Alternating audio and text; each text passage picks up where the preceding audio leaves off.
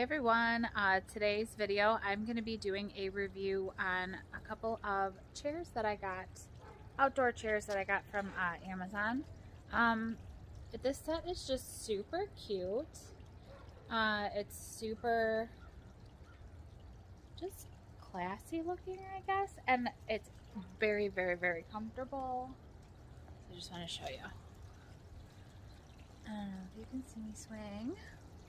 So I will put a link in the description below for these uh, outdoor rocking chairs that I got on Amazon. Um, yeah, I mean, I don't even cover them. I've actually had these for a couple months now. And um, they've been outside and they've held up pretty good without even being covered. These pillows didn't come with it. I got these at uh, on uh, at Walmart for like $5 a piece. But um, and then I think I got that candle for like $5, but it does come with the table. And I just, I love the way that it looks so clean and simple and they're super comfortable and you get to rock in it at the same time. So uh, yeah, uh, if you like these for yourself, click that link.